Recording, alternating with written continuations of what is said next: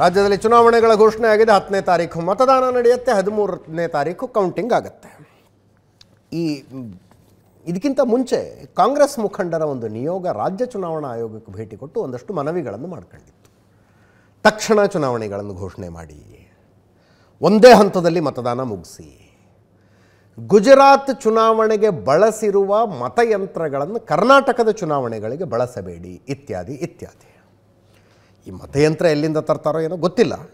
But ಉಳಿದ ಬೇಡಿಕೆಗಳು ಈಡೇರಿದಂಗೆ ಕಾಣಿಸ್ತಾ ಇದೆ ಇವತ್ತಿನ ಘೋಷಣೆಗಳ ಪ್ರಕಾರ. ಅದಕ್ಕೆ ಸಿದ್ದರಾಮಯ್ಯನವರು ಸ್ವಾಗತ ಅಂದರು. ಒಂದೇ ಹಂತದಲ್ಲಿ ಚುನಾವಣೆ ಘೋಷಿಸಿದ್ದಕ್ಕೆ ಸ್ವಾಗತ. ಕಾಂಗ್ರೆಸ್ ಚುನಾವಣೆಗೆ ಸಿದ್ಧವಾಗಿದೆ. ಚುನಾವಣೆಗಳ ನಿಷ್ಪಕ್ಷಪಾತವಾಗಿ ನಡೆಯುವಂತೆ ನೋಡಿಕೊಳ್ಳಬೇಕಾದದ್ದು ಆಯೋಗದ ಜವಾಬ್ದಾರಿ ಇತ್ಯಾದಿ ಇತ್ಯಾದಿ. ಇನ್ನು ಕೆ ಪಿ ಸಿ ಸಿ ಅಧ್ಯಕ್ಷ ಡಿ ಕೆ ಶಿವಕುಮಾರ್ ಅವರು, ಮೇ ಹತ್ತು ಭ್ರಷ್ಟಾಚಾರವನ್ನು ಓಡಿಸುವ ದಿನ, ಹೊಸ ನಾಡನ್ನು ಕಟ್ಟುವ ದಿನ ಅಂತ. ಈಶ್ವರ್ ಖಂಡ್ರೆ ಅವರು ಚುನಾವಣಾ ಆಯೋಗದ ಮೇಲೆ ಅನುಮಾನ ಇದೆ ಅಂದರು. ಬಿ ಜೆ ಪಿ ಪರ ಕೆಲಸ ಮಾಡ್ತಾರೆ ಅನ್ನೋ ಅನುಮಾನ ಇದೆ. ನ್ಯಾಯಸಮ್ಮತ ಆಗಬೇಕು, ನಿಷ್ಪಕ್ಷಪಾತ ಆಗಬೇಕು. ಜನವಿರೋಧಿ ಭ್ರಷ್ಟ ಬಿ ಜೆ ಪಿ ಬುಡ ಸಮೇತ ಕಿತ್ತ ಹಾಕಬೇಕು ಅಂತ. ಕೇಳಿಸ್ಕೊಳ್ಳಿ ಒಮ್ಮೆ. ಕಂತಿನಲ್ಲಿ ಆಗ್ತಾ ಇರ್ತಕ್ಕಂಥದ್ದು ಒಂದೇ ಇದರಲ್ಲಿ ನಾನು ಅದನ್ನು ಸ್ವಾಗತ ಮಾಡ್ತೀನಿ. ಚುನಾವಣೆ ಎದುರಿಸಲಿಕ್ಕೆ ಸಿದ್ಧರಾಗಿದ್ದೀವಿ. ಅಧಿಕಾರ ಇರ್ತಕ್ಕಂಥದ್ದು ಪರ್ಟಿಕ್ಯುಲರ್ಲಿ ಪಿ ಸರ್ಕಾರ ಇದೆಯಲ್ಲ? ಅವರು ಹಣ ಚುನಾವಣೆಯಲ್ಲಿ ಚುನಾವಣಾ ವ್ಯವಸ್ಥೆಯನ್ನು ಭ್ರಷ್ಟಗೊಳಿಸಿರ್ತಕ್ಕಂಥದ್ದೇ ಅವರು. ಆಪರೇಷನ್ ಕಮಲ ಮಾಡಿದವರು ಯಾರು? ಈ ದೇಶದಲ್ಲಿ ಮೊದಲನೇ ಬಾರಿಗೆ ಆಪರೇಷನ್ ಕಮಲ ಅಂತ ಹೆಸರು ಬಂದದ್ದು ಯಾರಿಂದ? ಬಿಜೆಪಿ ಅವರಿಂದ. Election commission should conduct the election in a free and fair manner police ಅಧಿಕಾರಿಗಳನ್ನು ಚುನಾವಣೆಗೆ ನೇಮಕ ಮಾಡಿರ್ತಕ್ಕಂಥ ಅಧಿಕಾರಿಗಳನ್ನ ಉಪಯೋಗಿಸ್ಕೊಳ್ತಕ್ಕಂಥದ್ದು ಕೂಡ ನಡೀತದೆ. ಹತ್ತನೇ ತಾರೀಕು ಬರೀ ಮತದಾನದ ದಿನ ಅಲ್ಲ, ಭ್ರಷ್ಟಾಚಾರವನ್ನ, ಭಾರಿ ಬ್ರಹ್ಮಾಂಡ ಭ್ರಷ್ಟಾಚಾರವನ್ನ ಬಡಿದು ಓಡಿಸುವಂತ ಪವಿತ್ರವಾದಂತ ದಿನ, ಹೊಸನಾಡನ್ನ ಕಟ್ಟುವಂತ ದಿನ, ನವ ಕರ್ನಾಟಕಕ್ಕೆ ಒಂದು ಹೊಸ ದಿಕ್ಕನೆ ಕೊಡುವಂತ ದಿನ, ನಿಮ್ಮ ಭವಿಷ್ಯವನ್ನ ನಿರ್ಮಾಣ ಮಾಡುವಂತ ಒಂದು ದಿನ. ಬರಲಿದೆ ಕಾಂಗ್ರೆಸ್ ಪಕ್ಷ.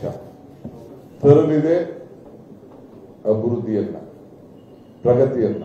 ಚುನಾವಣೆ ನ್ಯಾಯಸಮ್ಮತವಾಗಿ ಆಗಬೇಕು ಮುಕ್ತವಾಗಿ ಆಗಬೇಕು ಇವತ್ತು ನಿಷ್ಪಕ್ಷಪಾತವಾದಂಥ ಒಂದು ಚುನಾವಣೆ ನಡಿಬೇಕು. ಏಕೆಂದರೆ ಕರ್ನಾಟಕ ರಾಜ್ಯದ ಜನತೆ, ಈ ಒಂದು ಜನವಿರೋಧಿ ಭ್ರಷ್ಟ ಬಿಜೆಪಿ ಸರ್ಕಾರವನ್ನು ಇವತ್ತು ಬುಡ ಸಮೇತ ಕಿತ್ತಾಕಿ ಪ್ರಜಾಪ್ರಭುತ್ವದ ವಿರೋಧಿ ಸರ್ವಾಧಿಕಾರಿ ಧೋರಣೆ ಅನುಸರಿಸುತ್ತಿರುವ ಬಿಜೆಪಿ ಸರ್ಕಾರದ ಕೊನೆಗಳಿಗೆ ಬಂದಿದೆ. ನೀತಿ ಸಂಹಿತೆ ಕಟ್ಟುನಿಟ್ಟಾಗಿ ಪಾಲನೆ ಮಾಡಬೇಕು ಅಂತ ಈಗಾಗಲೇ ಸೂಚನೆಯನ್ನು ಕೊಟ್ಟಿದ್ದೇವೆ.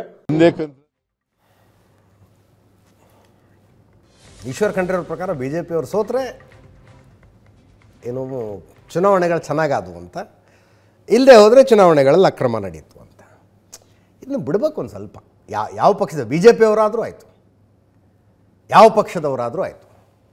ಈಗ ಗುಜರಾತ್ಗೆ ಹಿಮಾಚಲ್ ಪ್ರದೇಶಕ್ಕೆ ಒಂದೇ ದಿವಸ ವೋಟಿಂಗ್ ಆಯಿತು, ಒಂದೇ ದಿವಸ ಕೌಂಟಿಂಗ್ ಆಯಿತು, ಒಂದೇ ದಿವಸ ರಿಸಲ್ಟ್ ಬಂತು. ಗುಜರಾತ್ನಲ್ಲಿ ಬಿ ಜೆ ಪಿ ಗೆಲ್ತು. ಹಿಮಾಚಲ ಪ್ರದೇಶದಲ್ಲಿ ಸೋಲ್ತು, ಕಾಂಗ್ರೆಸ್ ಅಧಿಕಾರಕ್ಕೆ ಬಂತು. ಅದರ ಅರ್ಥ ಏನು ಹಂಗಿದ್ರೆ? ಹಿಮಾಚಲ ಪ್ರದೇಶದಲ್ಲಿ ಫ್ರೀ ಆ್ಯಂಡ್ ಫೇರ್ ಎಲೆಕ್ಷನ್ ನಡೆದು ಗುಜರಾತ್ನಲ್ಲಿ ಎಲೆಕ್ಷನ್ನಲ್ಲಿ ಅಕ್ರಮ ಆಯಿತು ಅಂತನ? ಅರ್ಥನೇ ಆಗೋದಿಲ್ಲಪ್ಪ. ಅವ್ರದ್ದು ಬೇಡಿಕೆ ಇತ್ತಲ್ಲ, ಆದರೆ ಗುಜರಾತ್ನಲ್ಲಿ ಬಳಸಿದ ಮತಯಂತ್ರಗಳನ್ನು ಕರ್ನಾಟಕದ ಚುನಾವಣೆಗೆ ಬಳಸಬಾರ್ದು ಅಂತ. ಈಗಷ್ಟೇ ಒಂದು ಅಪ್ಡೇಟು. ಕರ್ನಾಟಕದ ಇನ್ನೂರಿಪ್ಪತ್ನಾಲ್ಕು ಕ್ಷೇತ್ರಗಳ ಎಲ್ಲ ಮತಗಟ್ಟೆಗಳಲ್ಲೂ ಈ ಸಲ ಹೊಸ ಮತಯಂತ್ರಗಳ ಬಳಕೆಯಾಗತ್ತೆ. ಎಂ ತ್ರೀ ಅನ್ನುವ ಹೊಸ ಮತಯಂತ್ರಗಳ ಬಳಕೆಯಾಗತ್ತೆ ಅಂತ. ಇನ್ನು ಮುಖ್ಯಮಂತ್ರಿಗಳು ಮಾತಾಡಿದ್ರು. ಬಹುಶಃ ಚುನಾವಣಾ ಚುನಾವಣಾ ನೀತಿ ಸಂಹಿತೆ ಜಾರಿಗೆ ಬಂದ ನಂತರ ಹಂಗಾಮಿ ಮುಖ್ಯಮಂತ್ರಿಗಳು ಅನ್ಬೇಕಾ ಅದೊಂದು ಕ್ಲಾರಿಟಿ ತಗೋತೀನಿ. ಬಸವರಾಜ ಬೊಮ್ಮಾಯಿ ಅವ್ರು ಮಾತಾಡಿದ್ರಿ. ಬಸವರಾಜ ಬೊಮ್ಮಾಯಿ ಅವರು ಮಾತಾಡಿದ್ರು ಸಿ ಟಿ ರವಿ ಅವರು ಮಾತಾಡಿದ್ರು ಸಿ ಎಂ ಇಬ್ರಾಹಿಂ ಅವರು ಮಾತಾಡಿದ್ರು. ಕೇಳಿಸ್ಕೊಳ್ಳಿ. ಕಾಂಗ್ರೆಸ್ಸಿನ ಟ್ರೆಡಿಷನಲ್ ವೋಟ್ ಬ್ಯಾಂಕ್ ಇವತ್ತು ಆಗಿತ್ತು ಸ್ಪಷ್ಟವಾದಂಥ ಬಹುಮತ ಭಾರತೀಯ ಜನತಾ ಪಕ್ಷಕ್ಕೆ ಸಿಗಲಿದೆ. ಮತ್ತೊಮ್ಮೆ ಮುಂದಿನ ಐದು ವರ್ಷ ಭಾರತೀಯ ಜನತಾ ಪಕ್ಷ ಆಡಳಿತ ಬರೋದರಲ್ಲಿ ಯಾವುದೇ ಸಂಶಯವಿಲ್ಲ.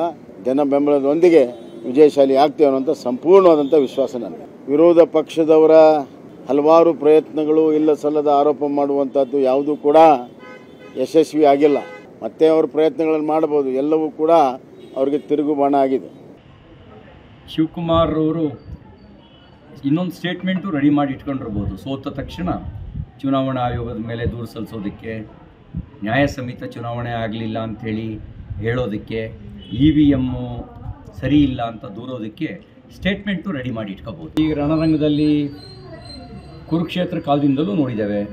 ದುರ್ಯೋಧನನೂ ಬಂದು ಕೃಷ್ಣನ ಭೇಟಿಯಾಗ್ತಾನೆ ಆದರೆ ಫಲಿತಾಂಶ ಫಲಿತಾಂಶ ಕೌರವರು ನಾಶ ಪಾಂಡವರ ಜಯ. ಈ ಚುನಾವಣೆಯಲ್ಲಿ ಜನತಾದಳ ತನ್ನದೇ ಆದಂತಹ ಬಹುಮತ ತಗೊಂಡು ಸರ್ಕಾರ ರಚನೆ ಮಾಡುತ್ತೆ ಅನ್ನಕ್ಕಂಥ ಪೂರ್ಣ ವಿಶ್ವಾಸ ನನಗಿದೆ. ಕ್ಯಾಂಡಿಡೇಟ್ಸ್ಗಳು ನಮ್ಮವು ರೆಡಿ ಅದಾವೆ.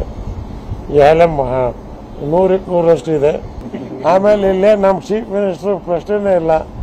ಕ್ಯಾಪ್ಟನ್ ಯಾರು? ಡಿಕ್ಲೇರ್ ಆಗಿದೆ. ಇನ್ ಫೀಲ್ಡ್ ಮೆನ್ಗಳು ಕ್ಯಾಚರ್ಗಳು ಬೇಕಾದ ಜನ ಇದ್ದಾರೆ. ಹಂಡ್ರೆಡ್ ಪರ್ಸೆಂಟ್ ನಾನು ಅವತ್ತು ಹೇಳಿದ್ನಲ್ಲ. ನಾನು ಹೇಳಿದ ಕುಮಾರಸ್ವಾಮಿ ಅವರು ವಿಧಾನಸೌಧದ ಎದುರುಗಡೆ ಪ್ರಮಾಣ ವಚನ ಸ್ವೀಕಾರ ಮಾಡ್ತಾರೆ.